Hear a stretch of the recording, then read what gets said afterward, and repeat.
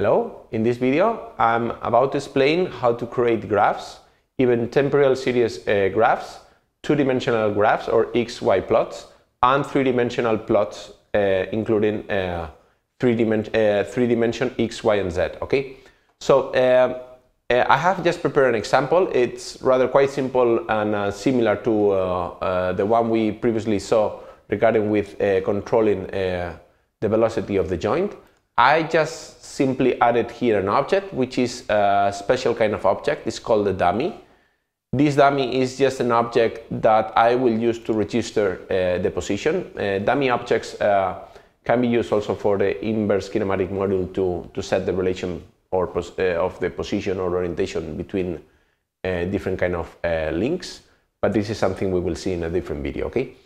But um, uh, particularly in this video, I'm interested in explaining about uh, creating uh, graphs uh, in order to record or data stream, okay? So we have to start by adding a graph here in the add menu graph. Yeah. And then we have here our graph that we have some options here. We can, we can check or uncheck these things and this will be the actual uh, window in which we will uh, display the graph, okay? And uh, we have time series graph and we have XY graphs as well, okay? And um, yeah, so we can uh, show them or hide them depending what we want, okay? During the simulation or not, okay? So how graphs work are rather quite simple because we have to access uh, to the properties of the graph and then then we have here a data stream a recorded list. This will be the list of variables that I would like to register or to record in order to display my graphs, let's say with a time series or the XY graph or whatever, okay?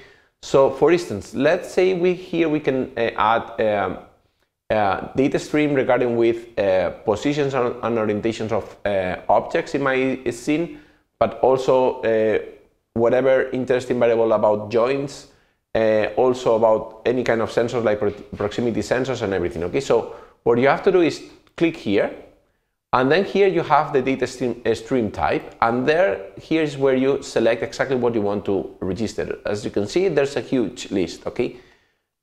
In this example, I'm just basically interested in the absolute x position of the object. Okay, so I'm just selecting this thing here, and then the object I'm interested in, which is the tip. Okay, so I register this stream and then I change the name and I, I rename it as X here. And then I do the same thing with the Y absolute position of the same object. Okay, and then I rename it here. Okay, so then on every data stream, I can apply specific transformations, let's say to uh, scale it or to uh, apply some kind of offset. And also I can decide if I want to be visible or if, if I want this uh, data stream to be visible on the time graph prop uh, uh, here, okay? And also if I want to show the, uh, the label and if I want to link any of the any of the points I'm registering, okay? So it's a continuous line, okay? I can obviously uh, modify the color of the curve. So I can set, for instance, the x coordinate to be blue. Sorry, blue. Yeah. And uh, so this will be blue and this will be by default red. Okay.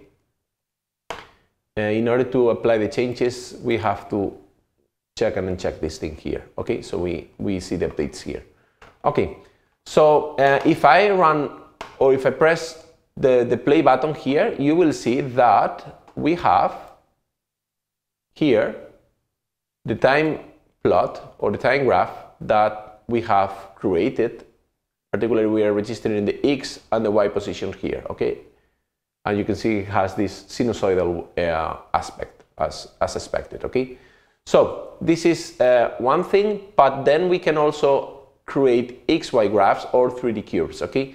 So with XY graphs, it's rather quite simple as well. So we can edit it here and add a curve we want to register based on the uh, data stream we have here. So we have to select for the X uh, coordinate which variable or, or which data we want to register, which is the x in this case, and for the y we want to register the y. We accept that. We can modify as well the color, so we can uh, leave it like that, whatever, okay?